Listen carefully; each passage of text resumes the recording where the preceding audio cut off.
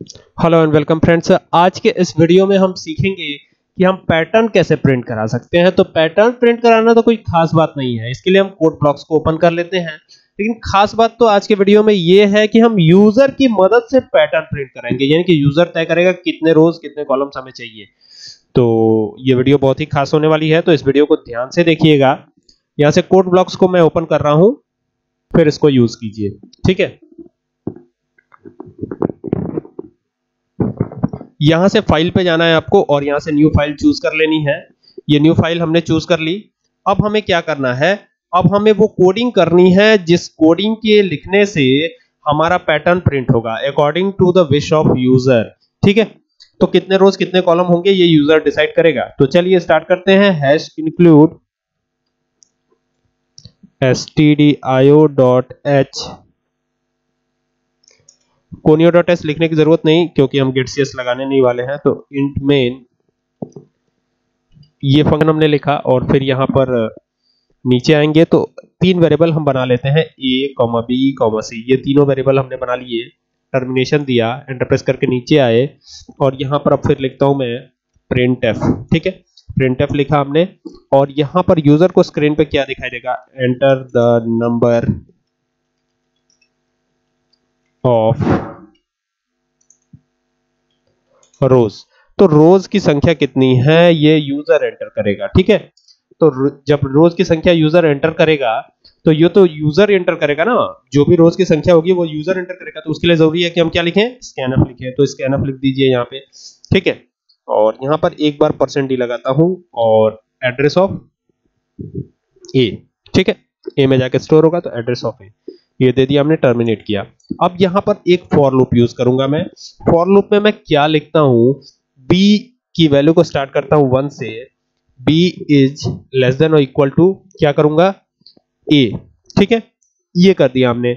इसके बाद फिर b की वैल्यू को इंक्रीमेंट कर रहा हूँ। ठीक है? ये इंक्रीमेंट कर दिया हमने। लूप की बॉडी जो है कर्ली ब्रैकेट से बनानी है।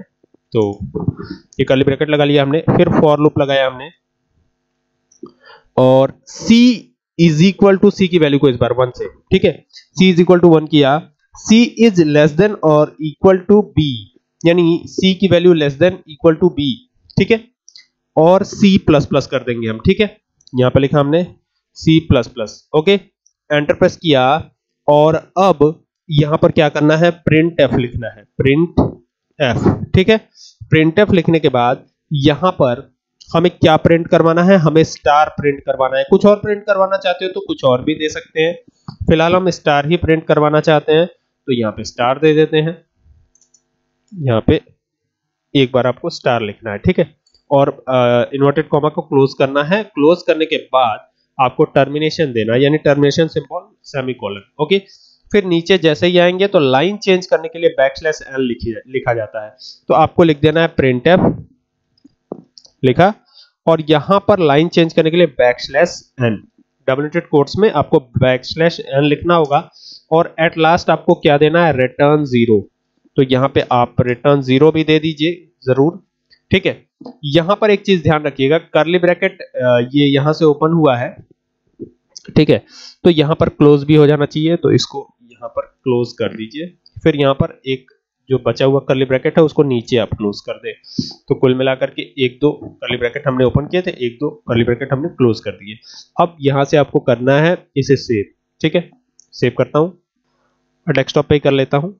और इसे नाम दे देता हूँ P Y dot C. Dot C लगाना ज़रूरी, क्योंकि ये सी लैंग्वेज के फ़ाइल की एक्सटेंशन होती है तो ये लगाना ज़रूरी।